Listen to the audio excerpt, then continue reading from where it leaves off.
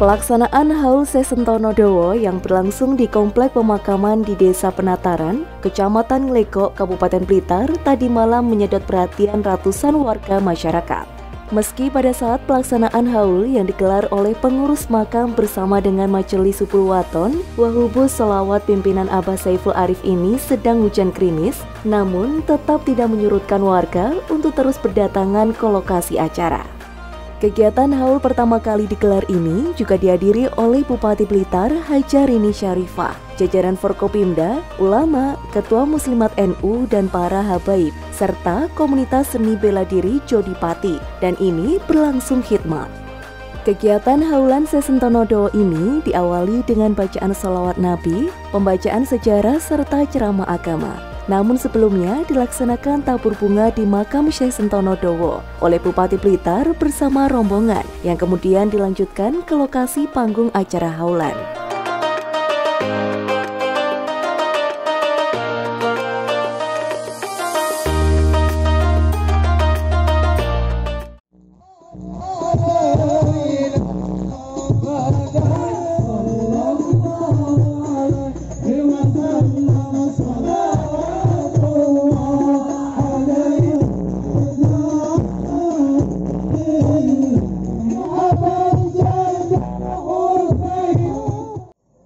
Bergandeng bau.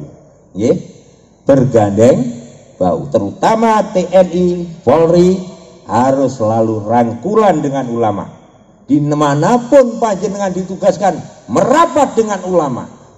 Karena ulama sangat berperan di dalam menjaga stabilitas keamanan negara.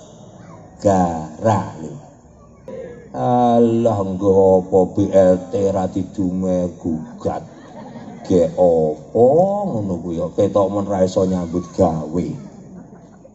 Apik nyuwun apa awe berarti lek jenengan karo pemerintah nggak diwehi bantuan berarti jenengan sudah mam berarti lek jenengan jaluk jarane ora mampu gelem enggak Hah? lebih baik memberi daripada meminta Ketua Panitia Haul yang juga pengurus makam Imam Maskur mengaku bersyukur kegiatan haul pertama ini sukses dan khidmat. Animo warga yang datang sangat tinggi. Selain untuk siar, juga memperkenalkan kepada masyarakat bahwa Sesentono Dowo merupakan seorang penyebar agama Islam yang harus dihormati jasa-jasanya. Imam Maskur juga bersyukur haulan dihadiri Bupati Blitar, Forkopimda, dan Habaib serta pengurus muslimat. Ia berharap keberadaan makam Sesentono Dowo dan beberapa pesiar Islam lainnya di penataran ini menjadi destinasi wisata religi yang menasional. yang pertama ini hmm. dihadiri oleh banyak habaib. Intinya eh, berkah bagi kami panitia masyarakat sekitar ini.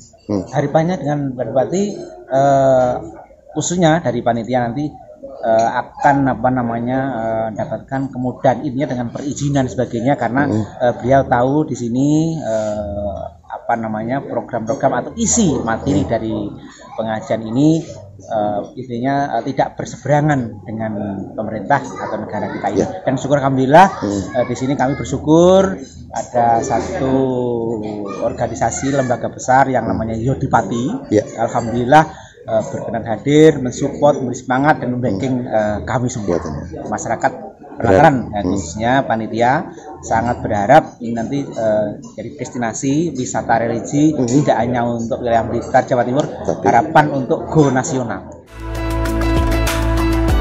Hal senada juga disampaikan Saiful Arif, sapaan akrab Gus Iful, bahwa haulan ini mendoakan ahli kubur dan sekaligus mengenang ketauladanan semasa hidup dari tokoh yang diperingati.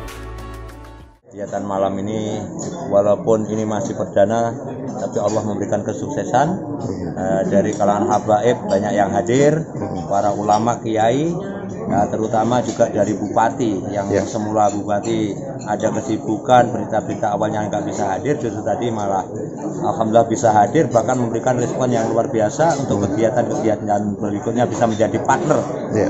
di dalam sama-sama untuk ini uh, ikut melestarikan kegiatan Majelis Kubul Waton Wahubus Selawat ini ya. demi tercapainya tujuan dari bangsa persatuan dan kesatuan di dalam mencintai tanah airnya dan dalam membangun negara dan bangsa. Sementara itu, Bupati Blitar Hajarini Syarifah menyampaikan bahwa kegiatan seperti ini sangat positif dan selain sebagai ajang silaturahmi juga untuk mengenang tokoh yang diperingati dan sekaligus memperkenalkan kepada masyarakat luas bahwa di Kabupaten Blitar ada seorang yang sangat berjasa dalam menyebarkan Islam dan tempat ini bisa menjadi tujuan peziarah perwisata religi. Dari Blitar, Muhammad Asrofi melaporkan.